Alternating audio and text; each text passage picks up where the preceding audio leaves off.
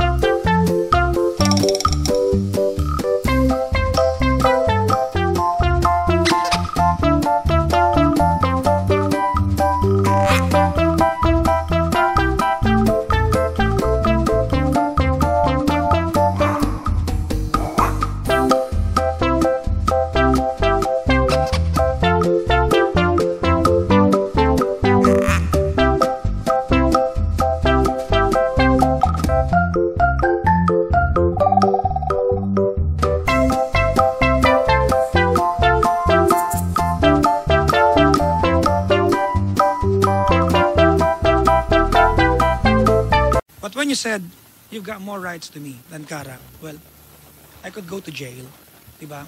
I'd rather have Kara have that right rather than you. Let it be said.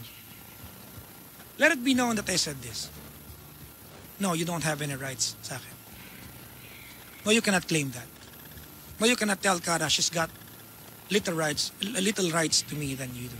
No, you can't claim that. Kara, na, sincere to galing sa. Personal at point. Diba, I'm not yet adult. But I'm sure I'm worth it for someone to take the risk.